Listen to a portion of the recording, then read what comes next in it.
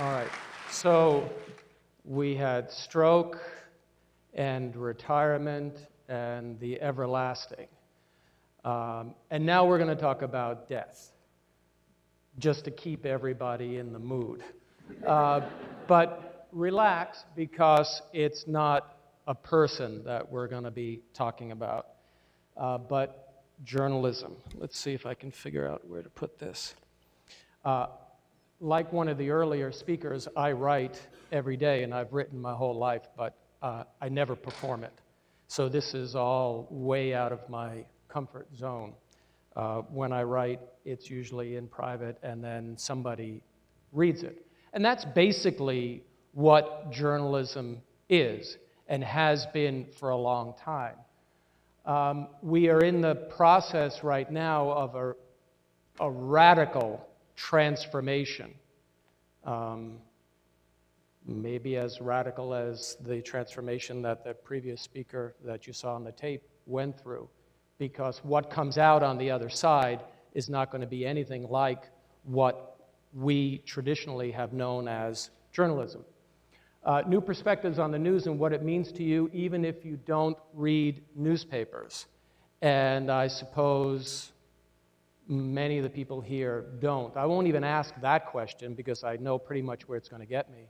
But how about anyone who has purchased a newspaper in the last week?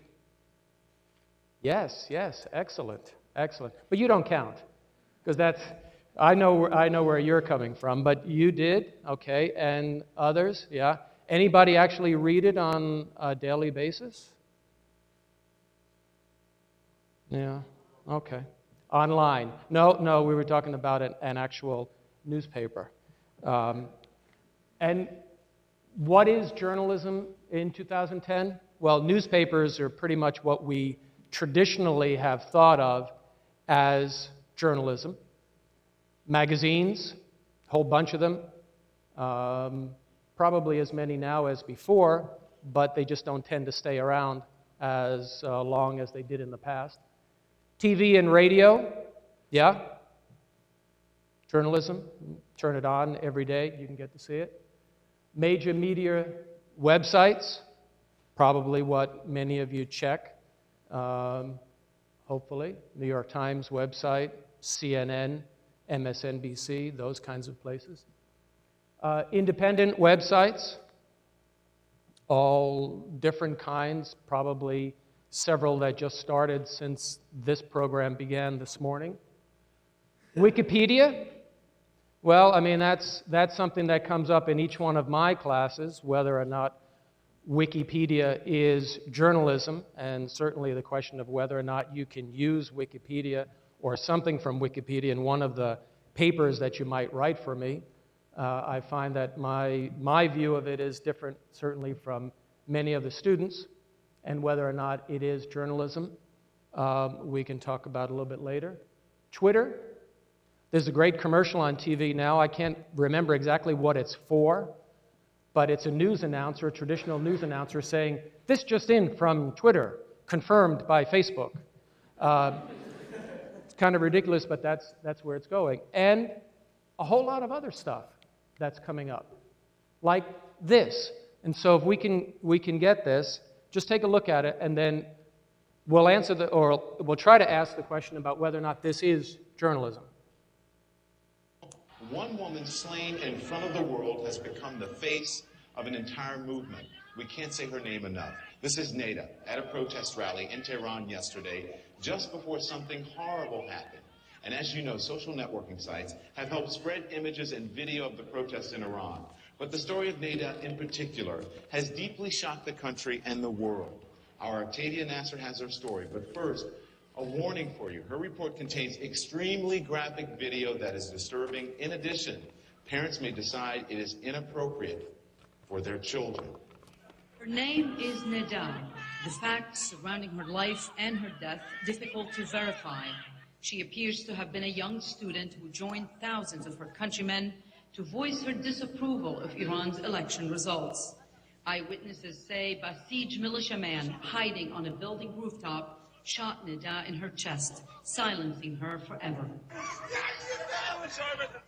A man who appears to be her father, desperately calling on her to open her eyes. A stranger begging her to stay awake. Don't be afraid, don't be afraid, Neda, the man says. But Neda doesn't respond.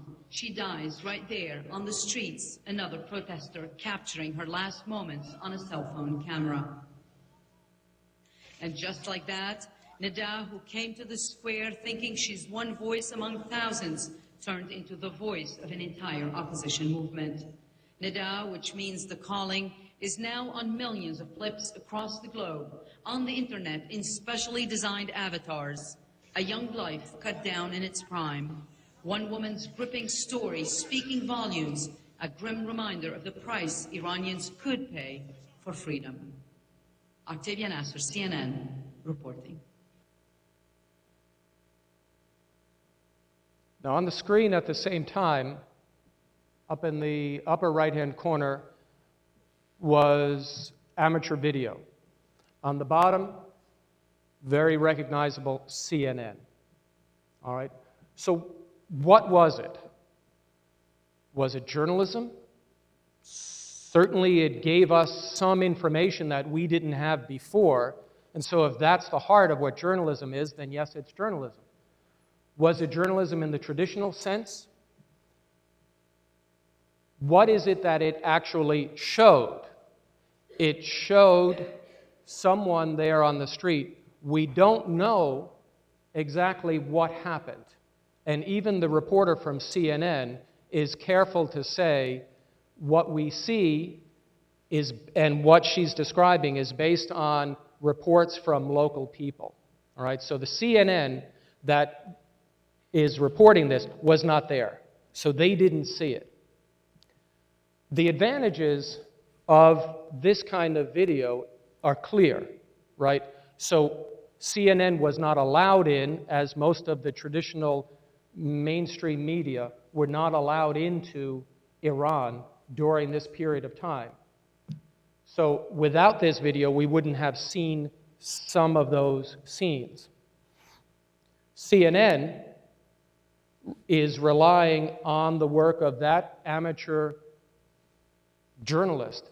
In fact, not even an amateur journalist, someone who just happened to be there. This video became a very powerful image of those elections in Iran. It also can be seen in some ways as a requiem for CNN and traditional journalism because uh, the field itself is changing so rapidly. That video won a George Polk Award, which is among the most prestigious awards for traditional journalism. It created quite a stir because here you have someone who's never even identified, we don't know who, whose camera it was, receiving an award that until now has been reserved for journalists. So you have someone who's doing the work or seems to be doing the work of a journalist who's not a journalist receiving a journalism award. That's one sense of how quickly this whole thing is transforming.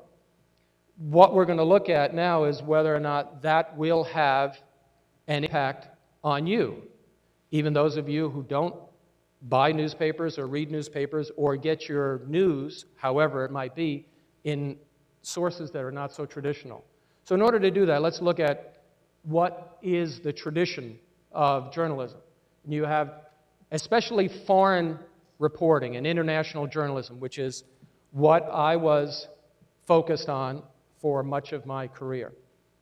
Traditional news gatherers like Richard Harding Davis from the New York Herald um, was one of the yellow journalists who sort of stirred up emotion in the late 19th century that got the United States into the Spanish American War. He accompanied Teddy Roosevelt uh, and the Rough Riders up San Juan Hill. When Teddy Roosevelt was later on trying to get for himself the Congressional Medal of Honor, he used the reports from Richard Harding Davis to uh, back up his heroism and the United States Congress rejected it because Richard Harding Davis was so much of a publicist for Roosevelt that they didn't believe what he had reported. And Roosevelt didn't get the Congressional Medal of Honor until well after he had died. Another traditional journalist, Herbert L. Matthews of the New York Times. Um, in 1957, Matthews went into the hills of southeastern Cuba and interviewed a young rebel named Fidel Castro. Came back with an article that ran on the front page that presented Castro as a friend of the United States, someone committed to democracy and elections, who didn't want power for himself and simply wanted to return Cuba to constitutional rule. 1957. Uh, my second book is called The Man Who Invented Fidel, and it is about Herbert Matthews. Traditional uh, news gatherer. Anderson Cooper, CNN, also a modern version of the traditional news gatherer, although one who has made his mark by crying uh, on the scene, which was not really a traditional part of news gathering, but it's basically a large organization goes out, gets the news, comes back and presents it, and you, as the audience, receive it. Um, there are now contemporary news sources, and most of you probably recognize Perez Hilton. Believe it or not, a couple of years ago, I spent an awful weekend at the New York Times tracking down the story that Fidel Castro had died and there was a transition going on.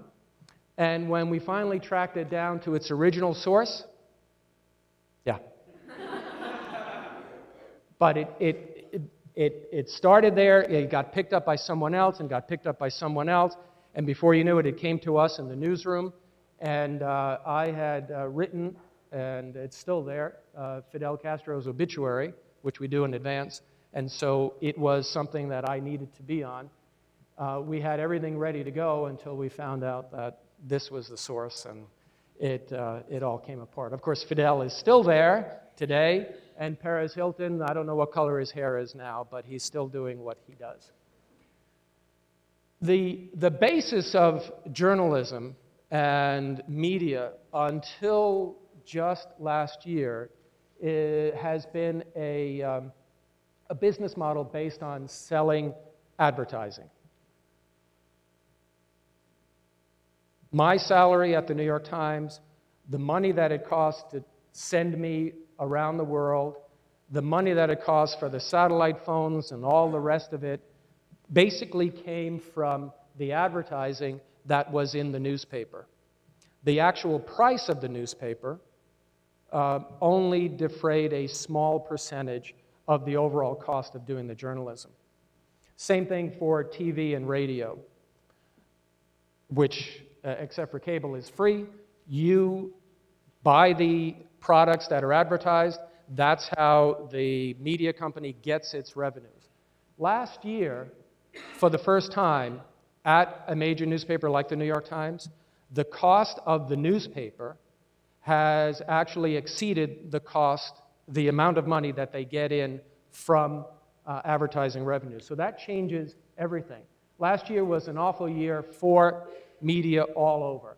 Losses all across the board, including what we thought was going to be the compensation for all of that traditional advertising that was lost. Online ad revenues overall down 5%. That leaves you in a position where the only choice you have, if you're going to continue quality journalism, is uh, to charge people for it. But in recent surveys, even people who have a favorite website where they go to for news, 82% of them said that if they were forced to pay for that website, they'd go somewhere else. What that means is that journalism has had to find a different way of doing what it has traditionally done. Uh, and that is taking advantage of the technology. Instead of having a remote truck that goes out there and all tons of equipment, you can have someone like my colleague Kevin Sites who can show up with a camera, a video camera, an audio tape recorder, and with a cell phone, send images back from anywhere around the world. The advantages are obvious it's cheap, the disadvantages are many. Uh, in part, he's never based in one place, so he roams from place to place wherever there's trouble. When there's trouble, you see a report. When there's a report, you think that it just happened. You don't have any of the background that allows you to understand where those problems came from. And going back to the video we saw originally, what you see may not give you the full picture. So, this is from Richard Avedon, a, a famous photographer, who said there's no such thing as inaccuracy in a photograph. Same thing with video. All photographs are accurate, none of them is the truth.